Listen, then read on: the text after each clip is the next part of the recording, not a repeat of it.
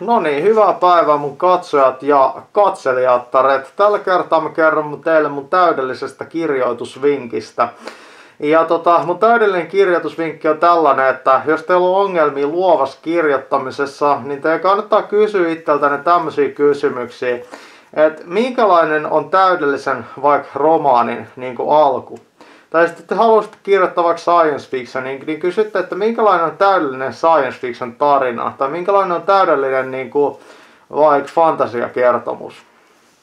Sitten kun, te, sit, kun te olette kysynyt sen kysymyksen, niin te voitte kysyä tämmöistä tarkentava kysymyksen, että miten täydellinen tarina niin kuin alkaa. Ja sitten jos te saatte siihen jonkun vastauksen, mä esimerkiksi tässä tuli mieleen semmoinen, että, että tarina alkaa silleen, että on semmoinen jäbä, ja sitten jävä on äh, vitun täydellinen, mutta se on vitun tyytymätön se elämään.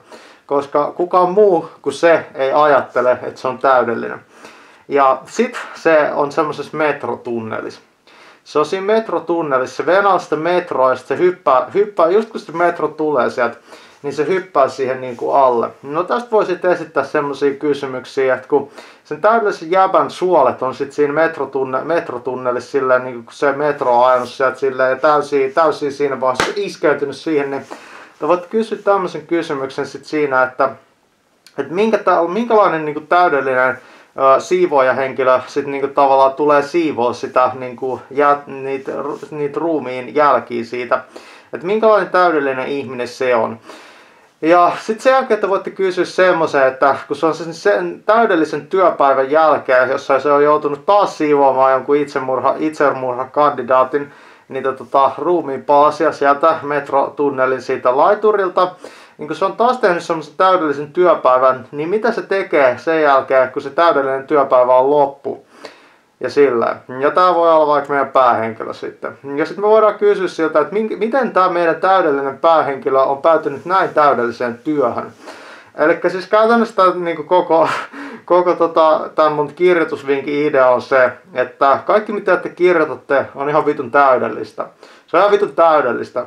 Joten, joten tota, ei ole sinänsä semmoisia huonoja tai hyviä niin kuin, tota, niin kuin ajatuksia, joita voi tulla. Kaikki, ta, kaikki ne ajatukset, mitä teillä tulee, kun te, te, te, tai kun te kysytte tämmöisen kysymyksen itseltänne, että minkäla, minkälainen on niin kuin täydellinen avaruusalus, niin ne kaikki ne vastaukset tulee olemaan vitu täydellisiä.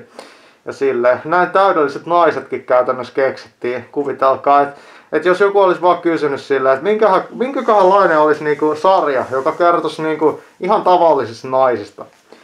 Eihän kukaan vittu olisi saanut ikinä semmoista saatana ideaa päähänsä, että tehdään TV-sarja täydellisestä naisista.